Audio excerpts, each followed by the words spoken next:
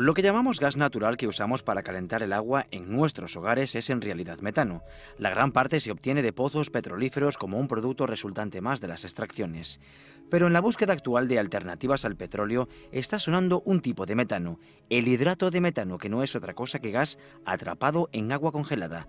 Existen enormes reservas en la Tierra repartidas entre los océanos y los suelos congelados o permafrost. Permafrost eh, se lle chama cando as temperaturas son tan baixas que os suelos quedan eh, xeados, quedan conxelados, quedan por debaixo dos eh, 0 graus. Eh, toda a zona, por exemplo, de Siberia, pois é eh, permafrost e, bueno, zonas, eh, todas as zonas máis ao norte, eh, tamén en Canadá, eh, Alaska, etcétera, teñen esta eh, zona que é permafrost. Temos un exemplo bastante esquemático do que podería ser de verdade a situación, o que se ve é simplemente un tubo que está perforando ata esa zona e de algún xeito ten que facer para disolver esos hidratos e que o gas eh, suba polo tubo e se poida atrapar. Realmente é un problema complexo, se, se fixeron algunhas probas, pero aínda non é unha técnica, digamos, que poida ser usada comercialmente. Complejo e peligroso, No olvidemos que el metano es un poderoso gas de efecto invernadero, más incluso que el dióxido de carbono.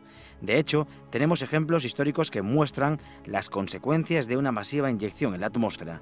Hace 55 millones de años, durante la etapa final del Paleoceno, las temperaturas subieron notablemente, el permafrost se descongeló y liberó grandes cantidades de metano. Nese episodio, hai 55 millóns de anos, se calcula que eh, nas zonas máis ao norte as temperaturas puderon subir ata 20 graus, así que é un reservorio impresionante de metano e, bueno, que podería eventualmente ser explotado para producir enerxía. Cal é o problema desta cuestión? Pois precisamente o problema é o desastre medioambiental que podría ser non controlar eh, de xeito preciso ese tipo de explotacións. Agora mesmo todo o mundo sabe que bueno, está moi de moda o tema do fracking, se trata de extraer o petróleo, incluso tamén gas natural que está atrapado nunhas rocas de esquisto, son como esponxas, entón basicamente eso que se trata é eh, pulverizar estas rocas y extraer rápidamente tanto petróleo como gas natural. La idea ahora es hacer algo parecido con el metano,